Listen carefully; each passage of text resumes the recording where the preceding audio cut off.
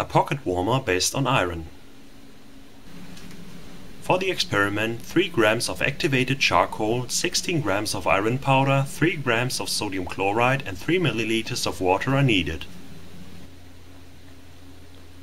Then all of the solids are added to a beaker and mixed.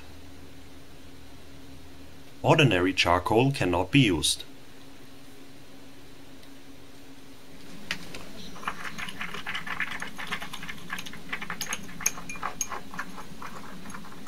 Then the water is added and mixed in.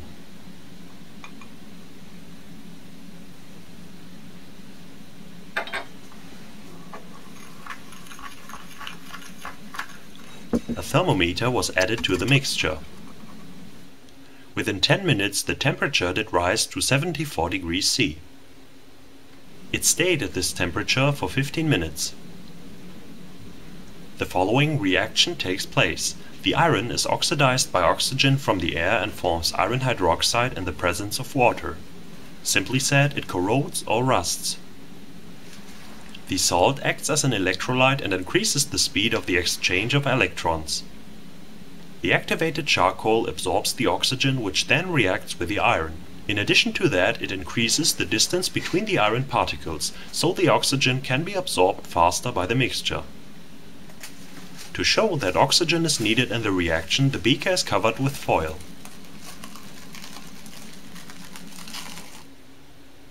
Then the temperature dropped. That's why the mixture can be put into a resealable bag and by opening or closing it, heat can be produced if needed. Next, the foil was removed and the temperature did increase again, but only by a few degrees. Obviously, the majority of the water had evaporated or was used up in the reaction, so more water was added. It should be taken care not to add too much, because then the amount of the emitted heat becomes less.